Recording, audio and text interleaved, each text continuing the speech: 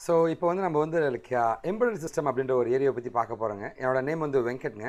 நான் வந்து ஒரு மைக்ரோசாஃப்டோட மோஸ்ட் வேல்யூபிள் ப்ரொஃபஷனல் அவார்டு வாங்கின பர்சனுங்க நான் வந்து ஒரு சாஃப்ட்வேர் ட்ரெயினர் ஜாப் கன்சல்டண்ட்டுங்க இது இல்லாமல் வந்து லைக் டெக்னிக்கலாக வந்து ட்ரைனிங் கொடுத்துட்ருக்க ஒரு பர்சனாலிட்டிங்க ஓகே என்னோடய ஆஃபீஸ் வந்து காஷி இன்ஃபோடெக்னு அண்ணாநகரில் இருக்குங்க இந்த வீடியோவுடைய தாட்ஸ் நாங்கள் எதுக்காக இந்த வீடியோ பண்ணுறோம் அப்படின்னா வந்து நெக்ஸ்ட் ஜென்ரேஷனில் வந்து லைக் தமிழில் வந்து டெக்னாலஜியை நம்ம சொல்லித்தரக்கூடாது அது மூலமாக இன்ஜினியர்ஸ் எப்படி உருவாக்கக்கூடாதா அப்படின்ற ஒரு தாட்ஸ் எனக்கு இருக்குங்க. அதனால இந்த வீடியோ பண்ணிட்டு இருக்கோம். லெட் ஸ்டார்ட் அவர் செஷன் சரி ஆக்சுவலாக வந்து எம்படு சிஸ்டம்னா என்ன? அப்படின்னு கேட்டிங்கன்னா வந்து நார்மலாக எம்படு சிஸ்டம்னா என்ன வந்து எம்ப ஒரு சிப்பில் வந்து நம்ம ஒரு கோடை எம்பர்ட் பண்ணோம்னா அதான் எம்படு சிஸ்டம் நான் இப்போ வந்து ஒரு ஆடினோ போர்டு வச்சுருக்கேன். இதான் என்னோட ஆடினோ போர்டுங்க இந்த ஆடினோ போர்டில் வந்து இங்கே மைக்ரோ கண்ட்ரோலர் இருக்குங்க.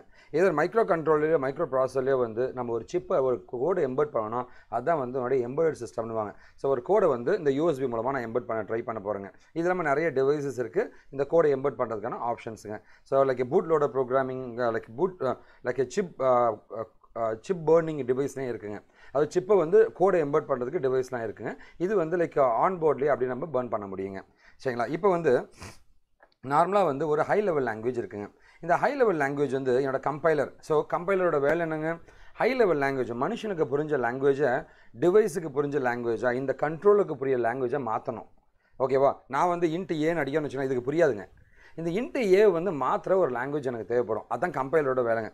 ஸோ கம்பைலர் என்ன பண்ணால் வந்து இந்த ஹை லெவல் லாங்குவேஜை வந்து low level language or machine level லாங்குவேஜாக or processor level லாங்குவேஜாக மாற்றி அந்த சிப்புக்குள்ளே கொண்டு போய் எம்பர்ட் பண்ணுங்க. ஸோ இதுதான் வந்து எம்பர்ட் சிஸ்டம்னு சொல்லுவாங்க. ஸோ அதுக்கான டெஃபினேஷன் நான் இங்கே கொடுத்துருக்கேன். பாருங்கள் பாருங்களேன். நான் ஒரு ப்ரோக்ராம் எழுதியிருக்கேங்க. சரி எயிட் ஜீரோ ஃபைவ் ஒன்னோட ப்ரோக்ராம் ஒன்று குட்டியாக எழுதியிருக்கேன் இந்த ப்ரோக்ராம் பார்த்தீங்கன்னா இந்த சிப்பில் கொண்டு போய் நான் எம்பர்ட் பண்ணுறேங்க இதுதான் வந்து உங்களோட எம்பர்ட் சிஸ்டம்னு சொல்லுவாங்க. அதுக்கான டெஃபினேஷன் பார்த்துங்க so overview of and hardware units so இப்போ வந்து அந்த ப்ராசஸர் ஹார்ட்வேர் யூனிட்ஸை பற்றி நம்ம பார்க்கலாங்க. ரெண்டு வகையான யூனிட்ஸ் இருக்குங்க. ஒன்று பார்த்தீங்க அப்படின்னா வந்து கண்ட்ரோல் யூனிட்னு சொல்லுவாங்க. இன்னொன்று பார்த்தீங்கன்னா எக்ஸிக்யூஷன் யூனிட்னு சொல்லுவாங்க. கண்ட்ரோல் யூனிட்னா என்ன வந்து? இன்ஸ்ட்ரக்ஷன்லாம் ஃபெச் பண்ணுற யூனிட் தான் வந்து கண்ட்ரோல் யூனிட்னு சொல்லுவாங்க. அதே வந்து எக்ஸிக்யூஷன் யூனிட்னா என்னென்னா வந்து டேட்டா ட்ரான்ஸ்ஃபர் பண்ணுறதுங்க அதுக்கப்புறம் அந்த ப்ரோக்ராமை எக்ஸிக்யூட் பண்ணுறது இது எல்லாமே வந்து எக்ஸிக்யூஷன் சொல்லுவாங்க. ஸோ டேட்டா ட்ரான்ஸ்ஃபர் பண்ணுறது ஹால்ட்டுங்க அப்படின்னு நிறுத்துறது. நடுவில் எதனா ப்ராப்ளம் வந்தால் இன்டரப்ட் பண்ணுறதுங்க இப்போ ஃபார் எக்ஸாம்பிள் நான் என்ன பண்ண வச்சுக்கேன் இப்போ ப்ரோக்ராம் எக்ஸிக்யூட் ஆகிட்டே இருக்குது இதில் பார்த்தீங்கன்னா வந்து ஒரு சின்னதாக ஒரு ரெட் கலரில் ஒரு பட்டன் இருக்குங்க. இதை அழுத்தினேன் அப்படின்னா வந்து ஆட்டோமேட்டிக் ப்ரோக்ராம் ஸ்டாப் ஆகிடுங்க இதுதான் இன்டரப்ட்டுங்க உங்கள் கம்ப்யூட்டர் இருக்குன்னு வச்சுக்கோங்களேன். கம்ப்யூட்டரில் நான் என்ன பண்ணுறேன் ஆன் பண்ணுறேன் ஆஃப் பண்ணுறேன் ப்ரோக்ராம் ரன் ஆகிட்டே இருக்கு. இப்போ கம்ப்யூட்டர் ஆன்லேயே இருக்குது எதுக்குப்பா ஆஃப் பண்ண ஆன் பண்ணுறாங்களா அதுதான் இன்டரப்ட்னு சொல்லுவாங்க. Jump to another set of instruction or call to another routine நான் ஸ்லீப் மோடுக்கு என் கம்ப்யூட்டர் நான் ஸ்லீப்பில் போடுறேங்க. சரிங்களா? ஸோ ஷட் டவுன் பட்டனை ப்ரெஸ் பண்ணுறேங்க இது எல்லாமே வந்து எக்ஸிக்யூஷன் யூனிட்டில் வருங்க. இது எல்லாத்தையும் கவர் பண்ணிட்டு வருங்க. இது எல்லாமே வந்து மெயினான ப்ராசஸ்னால் அரித்மெட்டிக் லாஜிக் யூனிட் ரெண்டு ப்ளஸ் மூணுனா எவ்வளோ அஞ்சுன்னு கொடுக்குற ஒரு ப்ராசஸிங் பண்ணக்கூடிய கேபிலிட்டி உன்னோட ப்ராசஸர் எல்லாமே வந்து உன்னோட எக்ஸிக்யூஷன் யூனிட்டில் வருங்க. ஓகேங்களா? அடுத்து நம்ம பார்க்குறது வந்து ப்ராசஸர் ப்ராசஸர்னு பார்த்தீங்கன்னா வந்து இதுதான் வந்து ஹார்ட் ஆஃப் தி எம்பர்டர் சிஸ்டம்ங்க இந்த ப்ராசர் வந்து மைக்ரோ கண்ட்ரோலரு இல்லை மைக்ரோ ப்ராசராக இருக்குங்க. இங்கே பாருங்களேன். இந்த இதில் பார்த்தீங்கன்னா வந்து இதுதான் வந்து உங்களுடைய ப்ராசருங்க மைக்ரோ கண்ட்ரோலர் போட்டிருக்கேன். இது ஒரு ஆடினோ போர்டுங்க மைக்ரோ கண்ட்ரோலர் இங்கே இருக்குங்க.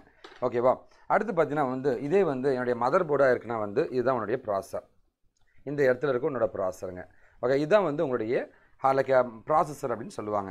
இந்த ப்ராசர் என்ன பண்ணும் அப்படின்னு பார்த்தீங்கன்னா வந்து ஸோ ஆக்சுவலாக வந்து லைக் அதை டிஸ்கனெக்ட் பண்ணி வச்சுருக்கணும். நான் வைக்காம விட்டேங்க. எனிவே ஸோ இந்த ப்ராசர் பார்த்தீங்க அப்படின்னா வந்து உள்ளே வந்து என்னுடைய ப்ராசர் இருக்கேன் மைக்ரோ ப்ராசர் இந்த இடத்துல இருக்குங்க. சரிங்களா அதை டிஸ்கனெக்ட் பண்ணுற ஆப்ஷன் வந்து லைக் ஐ மிஸ்ட் இட் சரிங்களா? ஸோ டிஸ்கனெக்ட் பண்ண முடியுங்க.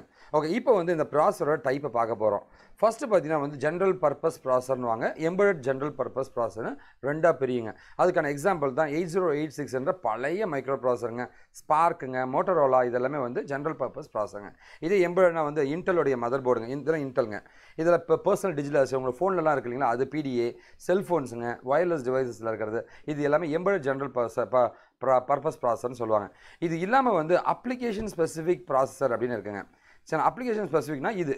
முன்னோட மைக்ரோ கண்ட்ரோலர் எல்லாமே அப்ளிகேஷன் ஸ்பெசிஃபிக் ப்ராசருங்க ஸோ மைக்ரோ கண்ட்ரோலர்ஸுங்க டிஜிட்டல் சிக்னல் ப்ராசஸிங் ப்ராசருங்க மீடியா ப்ராசர் நெட்ஒர்க் ப்ராசருங்க ஐஓ ப்ராசர்னு புரியும். இது வந்து உங்களுடைய நெட்ஒர்க் ப்ராசராக இருக்குங்க. இது வந்து உங்களோட சுவிட்சில் இருக்கிற நெட்ஒர்க் ப்ராசருங்க இது. சரிங்களா? இதெல்லாம் வந்து நெட்ஒர்க் ப்ராசர்னு சொல்லுவாங்க. இந்த மாதிரி ப்ராசஸை வந்து பிரிப்பாங்க. இது ரெண்டாவது வகையான டைப் ஆஃப் ப்ராசருங்க அப்ளிகேஷனுக்கு ஒரு ஒரு விஷயத்துக்காக இது வந்து நெட்வொர்க்கிங்காக உருவாக்கப்பட்ட ப்ராசர் சிம்பிள் ஓகே அதான் ஏ லைக் அப்ளிகேஷன் ஸ்பெசிஃபிக் இன்டகிரேட் ப்ராசர்வாங்க இந்த லைக் ஜென்ரல் பர்பஸ் ப்ராசரும் அப்ளிகேஷன் ஸ்பெசிஃபிக் ப்ராசரும் வந்து சில நேரங்களில் இன்டகிரேட் ஆகுங்க. லைக் சில ஆசிக் விஎல்எஸ் இதில் இன்டகிரேட் ஆகும். இது மூணாவது வகையான ப்ராசர் வகைங்க. எப்படின்னு கேட்டிங்கன்னா வந்து ஸோ அப்ளிகேஷன் ஸ்பெசிஃபிக் இன்டகிரேட் சர்க்யூட்டாக இருக்கும் ஆசிக்காக இருக்கும் வெரி லார்ஜ் ஸ்கேல் இன்டகிரேட் சர்க்கியூட்டாக இருக்கும் விஎல்எஸ்ஐயாக இருக்கும் இது எல்லாமே எஃபிஜிஏ அப்படின்ற மாதிரி சொல்லுவாங்க. சரி இதை பற்றி நம்ம டீட்டெயிலாக வந்து நம்ம பின்னாடி பார்க்கலாங்க. எஃபிஜிஏ கோர் இன்டகிரேட்டட் ப்ராசர் யூனிட்ஸ்னு சொல்லுவாங்க. ஓகே இந்த மூணு வகையாக பிரியுங்க. சரிங்க மூணு மேஜரான திங்ஸாக பிரியுங்க. இது இல்லாமல் வந்து அப்ளிகேஷன் ஸ்பெசிஃபிக் சிஸ்டம் ப்ராசஸர்னு இருக்குங்க. சரிங்களா? அப்ளிகேஷன் ஸ்பெசிஃபிக் ஸோ இது வந்து இன்ஸ்ட்ரக்ஷன் ப்ராசருங்க இது நம்ம பார்க்குறது வந்து இப்போது சிஸ்டம் ப்ராசருங்க இந்த சிஸ்டம் ப்ராசர்னா என்னென்னு கேட்டிங்கன்னா உங்கள் செட்டாப் பாக்ஸில் வீட்டிலலாம் வந்து பாட்டுலாம் பழைக்க உங்களோட கேபிள் டிவிலாம் இருக்குல்ல அதுக்கு யூஸ் பண்ணுவாங்க. மொபைலுக்கான அப்ளிகேஷன் ப்ராசருங்க எம்பக்கான வீடியோ ப்ராசருங்க சரி உன்னோட கிராஃபிக்ஸ் கார்டெலாம் இன்டெகிரேட் பண்ணுறாங்க இல்லைங்களா? அது எல்லாமே அப்ளிகேஷன் ஸ்பெசிஃபிக் சிஸ்டம் ப்ராசஸர்னு சொல்லுவாங்க. கிராஃபிக்ஸ் கார்டெலாம் யூஸ் பண்ணுறதுங்க ஓகேவா அடுத்து பார்த்தீங்கன்னா வந்து டைப் ஆஃப் ப்ராசஸர் இன்னும் கொஞ்சம் ஸ்பெசிஃபிக்காக பிரிக்க முடியுங்க. எப்படி சார்னு கேட்டிங்கன்னா வந்து சிங்கிள் பர்பஸ் ப்ராசஸர் அதாவது அப்ளிகேஷன் ஸ்பெசிஃபிக் இன்ஸ்ட்ரக்ஷன் ப்ராசஸர் அப்படின்னு பிரிக்கலாம். இந்த ஃப்ளோட்டிங் பாயிண்ட்லாம் கன்வெர்ட் பண்ணுறதுங்க சரிங்க எனக்கு வந்து லைக் இப்போது இந்தியா பூமியிலேருந்து சூரியன் எவ்வளோ தூரம்னா வந்து அதெல்லாம் பயங்கர ஹையஸ்ட் வேல்யூ டபுள் ரொம்ப ரொம்ப பெரிய வேல்யூ இருக்கும். அந்த மாதிரி பெரிய வேல்யூவை மட்டுமே கால்குலேட் பண்ணுற ப்ராசர் இருக்கும். அதான் ஃப்ளோட்டிங் பாயிண்ட் கோ ப்ராசர் அப்படின்னு சொல்லுவாங்க. இது இல்லாமல் வந்து கிராஃபிக் ப்ராசர் அப்படின்னு சொல்லுவாங்க. சரி கிராஃபிக் ப்ராசர்னு இருக்கும். இது இல்லாமல் வந்து ஸ்பீச்க்கான ப்ராசர்னு சொல்லுவாங்க. ஸ்பீச் சிந்தசைஸ்லாம் பண்ணுற ப்ராசருங்க இந்த மாதிரி மூணு வகையாக வந்து ப்ராசஸை பிரிப்பாங்க. ஓகே இது வந்து சிங்கிள் பர்பஸ் ப்ராசஸர் அப்படின்னு சொல்லுவாங்க. இதுக்கப்புறம் மல்டி கோர் ப்ராசர்னு இன்னொன்று இருக்குங்க.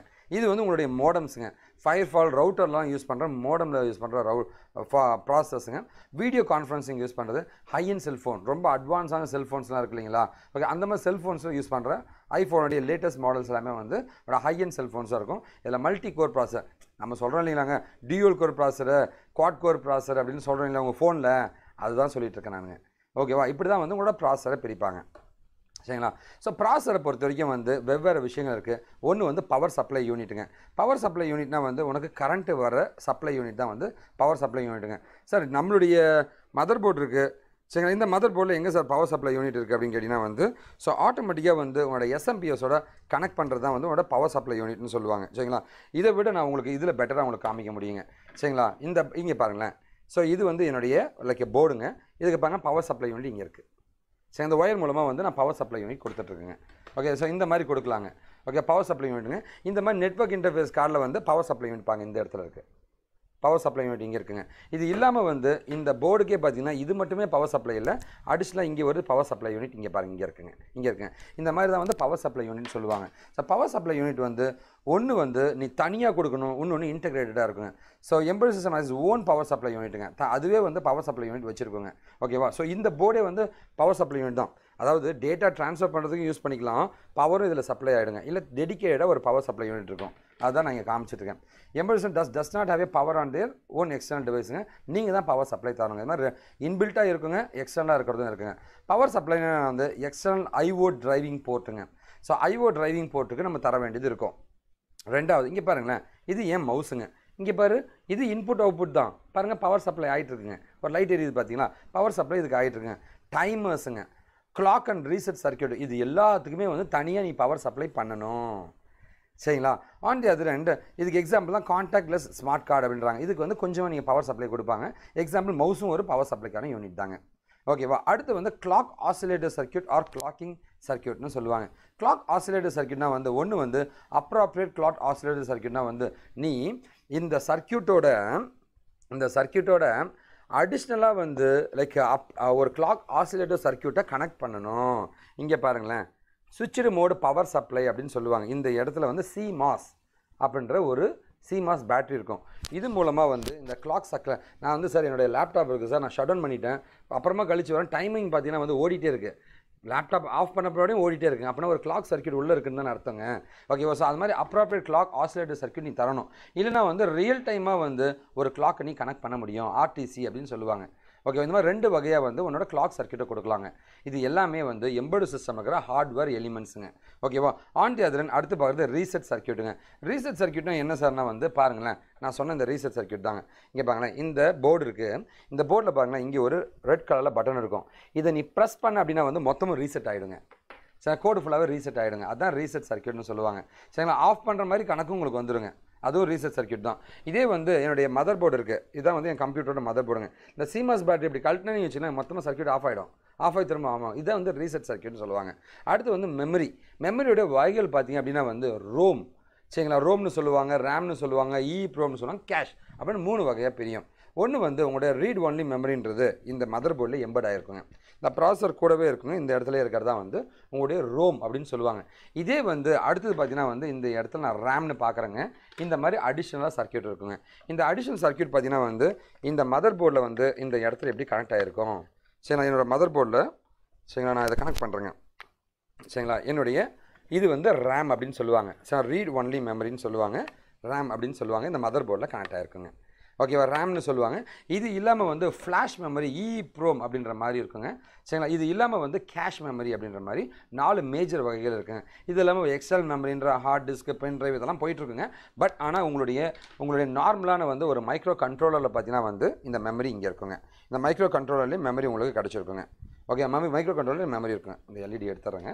ஓகேவா? இப்போ பார்த்தீங்கன்னா வந்து ஃபஸ்ட்டு பார்க்குறது நம்மளுடைய ரோம் அப்படின்ற erasable programmable read only memory or read only memory or ஃப்ளாஷுங்க இது எதுக்கு சார் நான் வந்து storing application ப்ரோக்ராமுங்க storing codes for system program booting அதாவது இந்த ப்ராசஸர் வந்து ப்ராசஸருக்கு இந்த கம்ப்யூட்டருக்கு கரண்ட் வருது. இதுதான் கம்ப்யூட்டருங்க இந்த கம்ப்யூட்டருக்கு கரண்ட் வருதுன்னு வச்சுங்களேன் ஃபஸ்ட்டு வந்து இந்த ஏரியாவில் இருக்க இந்த ரோமில் இருக்கிற பூட்டிங் தான் வந்து ஸ்டார்ட் ஆகுங்க. அது மூலம் தான் உங்கள் கம்ப்யூட்டரே ஆன் ஆகுங்க. So booting initialisation initial data இன்புட்டுங்க storing codes for real time operating system storing pointers இது எல்லாத்துக்குமே இந்த ROM EPROM or flash use ஆகுங்க. அடுத்து பார்த்தீங்கன்னா நம்மளுடைய ரேம் பற்றி பார்க்க போகிறோம் சரிங்களா? இந்த ரேம் வந்து இந்த க மதர் போர்டில் பார்த்தீங்கன்னா வந்து இந்த இடத்துல இப்படி இருக்குங்க.